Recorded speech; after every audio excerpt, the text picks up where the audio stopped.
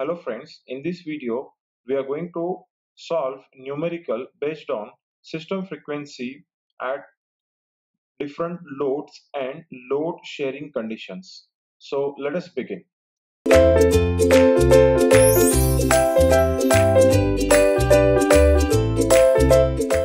So friends here the question is given regarding the system frequency at different load or load sharing conditions.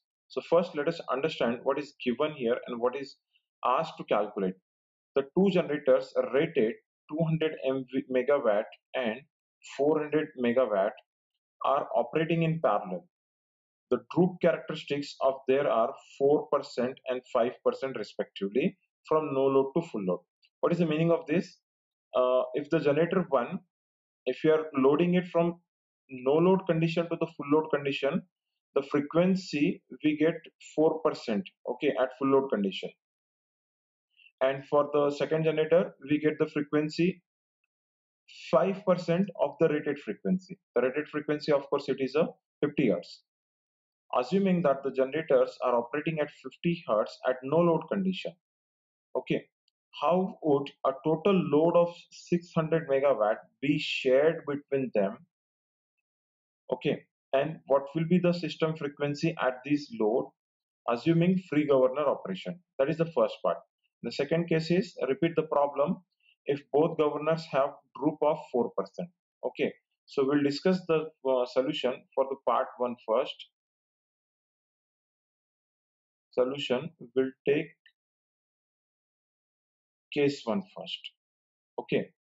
Now here what is given we have two generators okay? So the generator one what we have to do is we have to supply a load of 600 megawatt okay? So the total power demand here we have is 600 megawatt.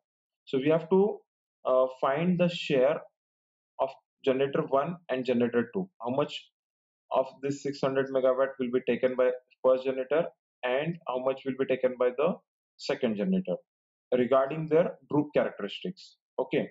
So with that let us consider that generator 1 which is having a rating as 200 megawatt will take a load of x megawatt because we don't know initially how much to be given to the first generator.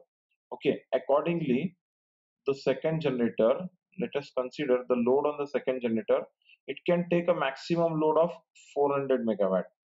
Okay so with that, the load on it would be 600 minus X megawatt.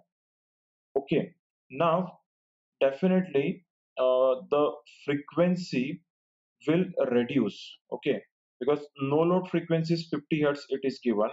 And as we are going to load the generator as we are going to increase the generator frequency will reduce. So that reduction in frequency let us consider it to be del f reduction in frequency let us assume it to be the del f.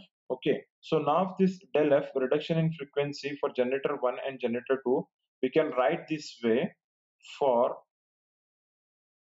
generator 1 i can write it as reduction in frequency upon x how much load it is going to take. Okay.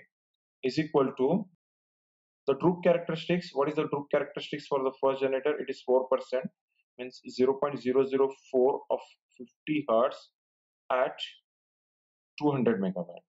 Okay, so this is how you have to write the relationship for the first generator. Same way for generator 2, it would be reduction in frequency for the load of how much load now it is going to take 600 minus x it is equal to what is the droop for the second generator it is 5 percent so it would be 0.0005. What is the no load frequency? It is 50 hertz divided by what is the uh, full load capacity? It is 400. Okay. Now here you see reduction in frequency. See now as the alternators are operating in parallel, frequency on both the alternator will remain same. See here we can say that these two alternators are forming a coherent group. Okay. So as they are operating in parallel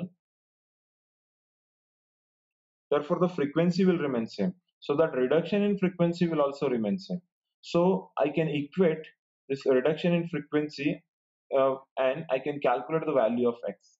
So let us see how we can do that. Let's see how I'm doing over here.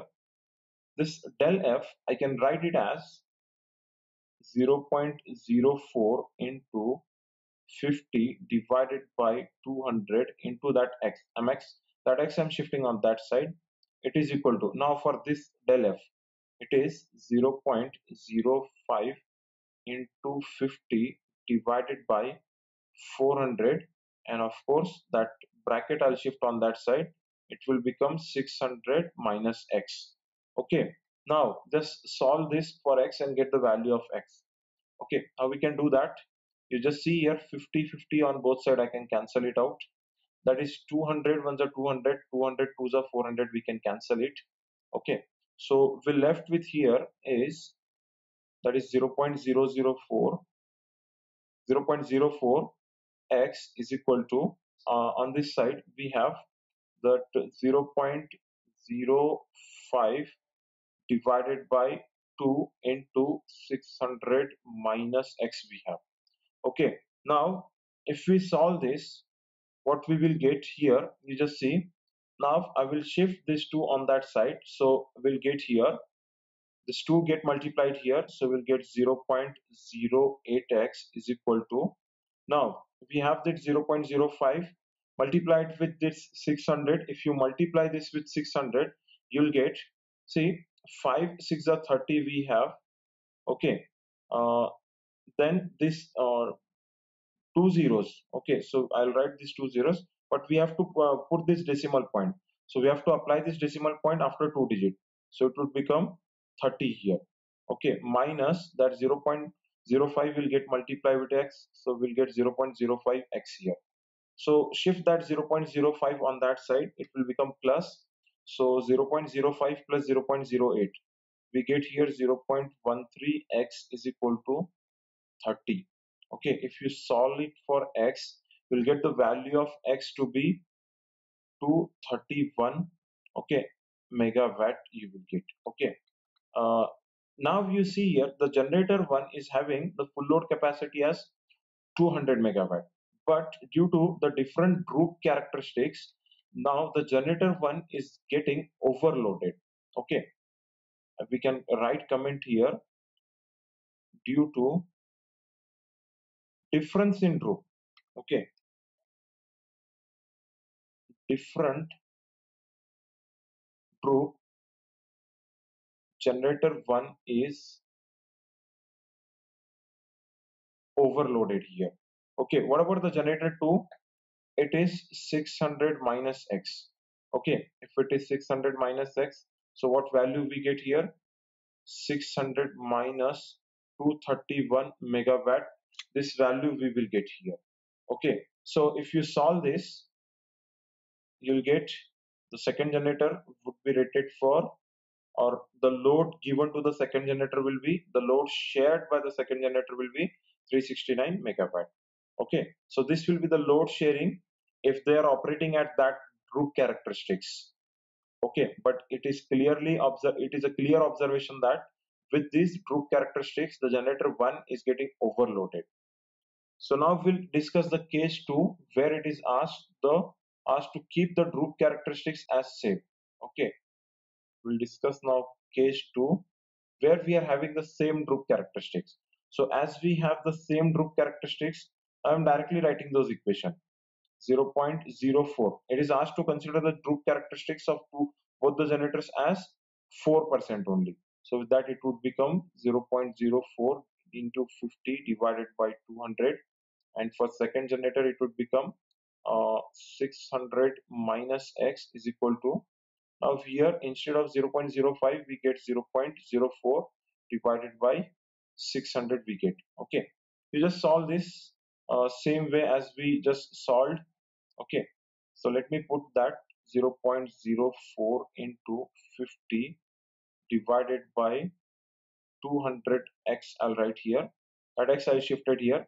Now for this del f it will be 0.04 into 50 divided by 600 into that 600 minus x we get here.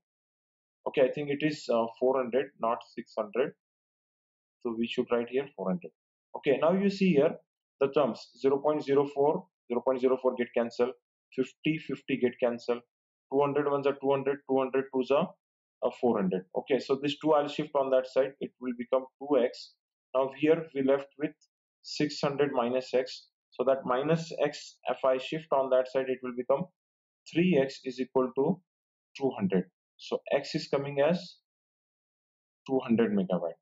So if we are having the same uh, same droop characteristics with this the loading of the generator will be to their full load capacity only. So generator 1 will be loaded with uh, 200 megawatt and the frequency will remain same here.